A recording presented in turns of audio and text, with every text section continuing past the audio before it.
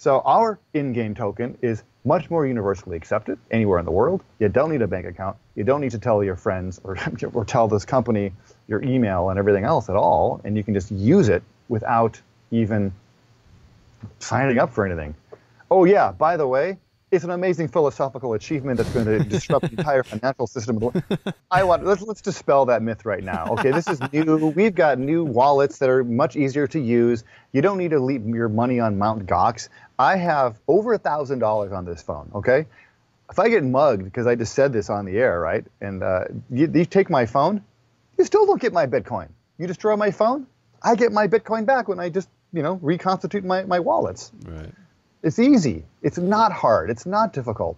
Yeah, like my nephew and niece, they're nine and ten. You know, they have Bitcoin on their phones, and I, I pay them in their you know for doing chores, oh, really? birthdays. they love it because they can get oh look it went up a little bit. Oh, that's or, great. How come it went down, Uncle Doug? Well, because you know then I can explain monetary systems and stuff, and they learn. And with the Airbitz wallet, then they can go buy Target gift cards and buy their you know Lego set.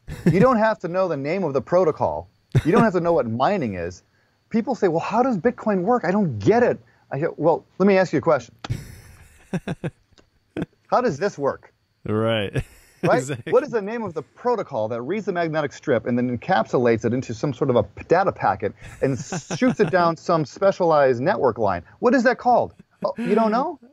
Oh, but you don't need to know, right? Uh, I, am one of those outgoing guys who's, uh, who asks every waitress and waiter I come by, do you take Bitcoin? Oh, really? Do you want Bitcoin for your tip? Ah. Every single one. Gas station attendants, and it just like you know, I throw it out there, and great. they say, "Oh yeah, yeah, I've heard of that." Hey, could one more person, positive reinforcement,